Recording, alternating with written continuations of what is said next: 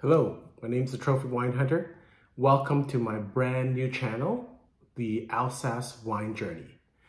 Why am I doing this channel? I'm so excited to learn about Alsace wines, the whole region, and I hope to culminate this with a trip to the region because I think the only real way to learn about a region and to really um, get to know it is to actually go there. So I'm going to do all this preparation work and hopefully after COVID, I'll be able to visit this region.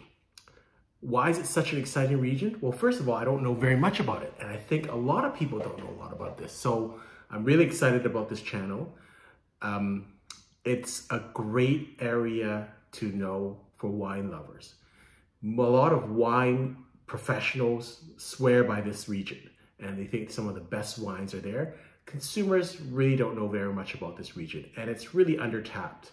Um, couple of reasons that I think it's a really interesting region that I want to get to know is first of all, it's got an incredible diversity of soil. And so um, I'll explain that a little bit later in this video.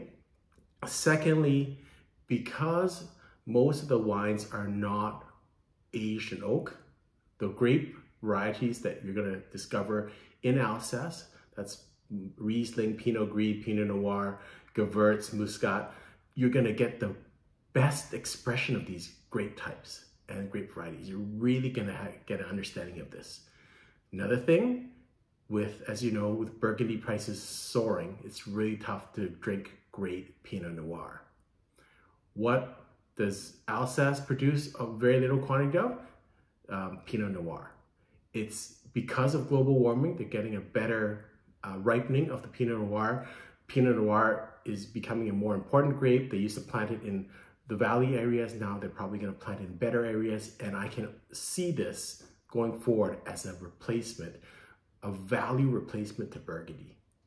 Um, so this is kind of the reasons I'm excited about this. I don't know much about the region, like most consumers. So hopefully you'll join me on this journey and we'll learn together. Okay, so let's start with the basics. We're gonna complete the basics where is Alsace? Okay, so Alsace obviously is in France. It's on the border between right near Germany. Very interesting area. Maybe I'll do another video on the history of the area. Um, but it goes between German and French influences throughout the history. Uh, so I might try and put this map up, but it's it's kind of two areas. It's it's um, it's bound by, it's bound by the Vosges Mountains. And then on the other side is it's the border of Germany and it's the um, Rhine River and the, the Black Forest.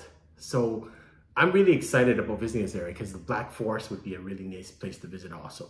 The other thing about um, Alsace, the food is tremendous and the wine is food friendly. It's made for food. So I'm just so excited about to learn more about this area. Okay, so what makes this such a diverse area? So what happens is um, the Vo you had the Vosges Mountains, and then you had on the other side the Black Forest, and in between them you had a plate, like a, the, the these volcanic plates. And so what happened? It kind of pushed both sides up until basically the middle collapsed, and that middle is really the Alsace region. So when it collapsed, this and this was obviously we're talking about prehistoric times, it collapsed, it kind of rumbled up all the soil. And what you have is a diversity of soil. And you have different at different slopes and different places, different types of soil. That's why it's so diverse of what it can grow.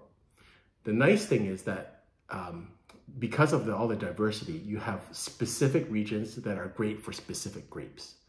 And so you, you can, it really is a very, very interesting area where you can plant grapes. Um, one side of the road and the other side of the road is a different grape type and you have perfect soils. Talk a little bit more about the climate and the area because this is kind of interesting just for the basic understanding as we get ahead.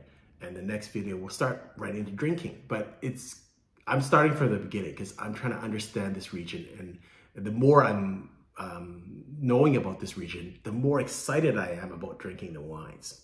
So again, because of the Vosges Mountains on one side, what happens is all the moisture has to climb up those mountains. So all the moisture, the rain comes off before the Vosges Mountains. When it gets to Alsace, it's really dry.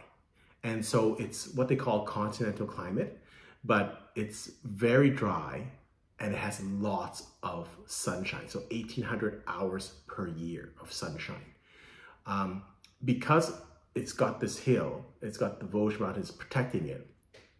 Um, it gets very little rain, but it's very hot in the uh, mornings and then very, very cool at night.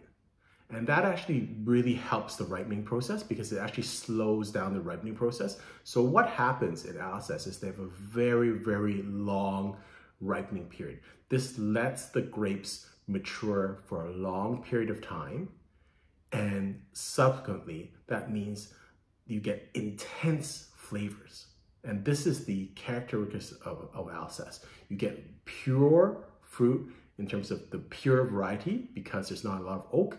And you get, because of the long ripening season, really, really intense flavors and lots of aromatics. And that's why I'm so excited about drinking these wines. So this is my initial video Hope you continue on this journey with me. I'm going to start to learn more about the region, the history, the wine, of course, but in with that, the food, and also, um, you know, preparing for a trip there and what type of tourist attractions are there. I'm going to try and give you uh, links to the site. Um, it's a really exciting region for me because it's kind of something that never came on my radar. And I think we're going to enjoy this journey together. So join me back next time.